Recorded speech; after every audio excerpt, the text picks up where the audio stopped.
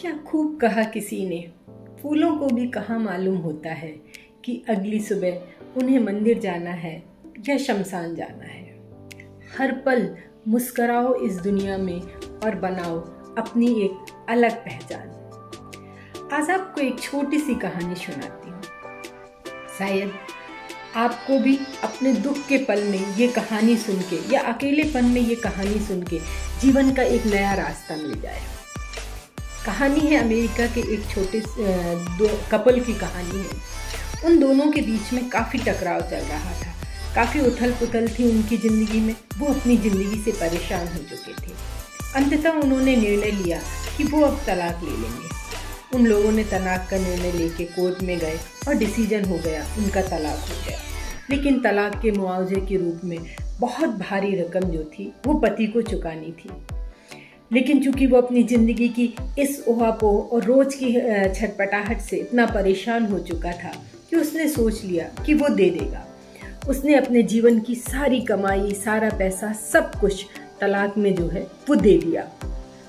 जब वो सारा पैसा दे के बाहर निकला कोर्ट से तो उसने अपनी जेब में हाथ डाला तो देखा उसके पास सिर्फ़ सौ डॉलर बचे थे।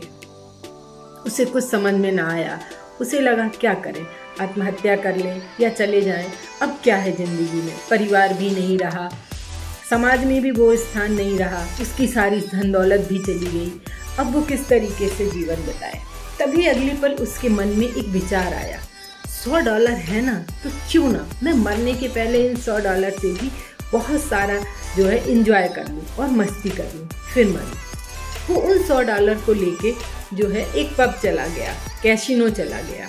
उसने सोचा, चलो वो वहाँ जाके जुआ खेलता, अपनी किस्मत देखता है, फिर उसके बाद उसको अब जीना ही नहीं है। जब वो वहाँ पहुँचा तो कैशिनो में एक काफ़ी लंबी लाइन लगी हुई थी।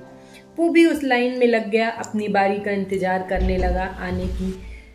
थोड़ी देर बाद जब आगे के लोग आगे बढ़ते जा रहे थे, वो जब थोड़ा आगे खिसका तो कैश में जो है पेपर लगे हुए थे। अचानक ही उसकी नज़र पेपरों पे गई।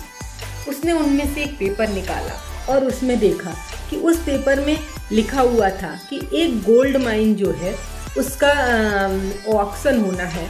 तो उसने सोचा, चलो, चलते हैं, वहाँ जाकर ही देख लेते हैं क्या होता है किस्मत। कुछ नहीं होगा तो उस गोल्ड माइन में ही कूद के मैं अपनी आत्महत्या कर दूँगा।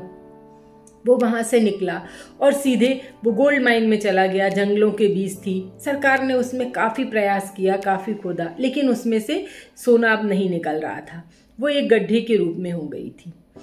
वो वहाँ पहुँचा, लोग पहले से ही वहाँ बैठे हुए थे। लेकिन आश्चर्य की बात देखिए, उसके अलावा कोई और खरीदार वहाँ पहुँचा ही नहीं। उसको वो उतने ही सौ डॉलर में वो गोल्ड माइन उसको दे दी गई। उसने कहा, इसमें क्या करें? अंदर गया, काफ़ी लोगों से कहा। उन्होंने कहा, अब इसमें से कुछ नहीं निकलता है। दोपहर के दो बज रहे होंगे, तीन बज रहे होंगे।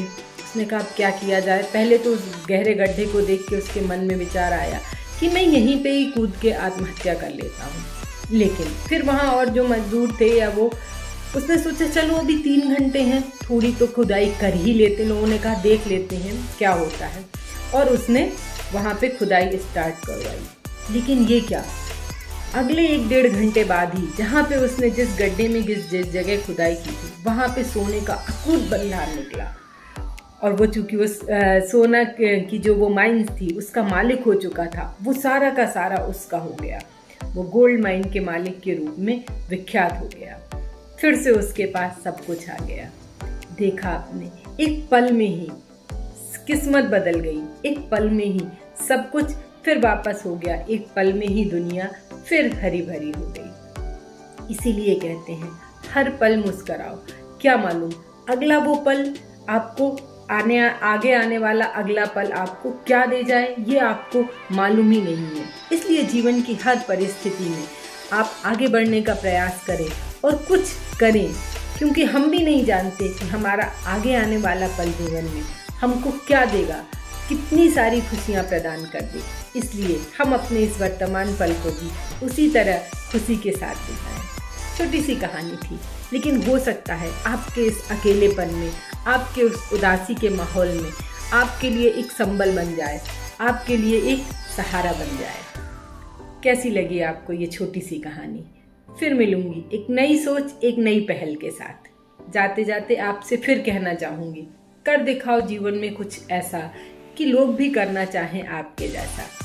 फिर आती हूँ एक नई सोच, एक नई कहानी लेकर। आपके बीच मैं नीलम।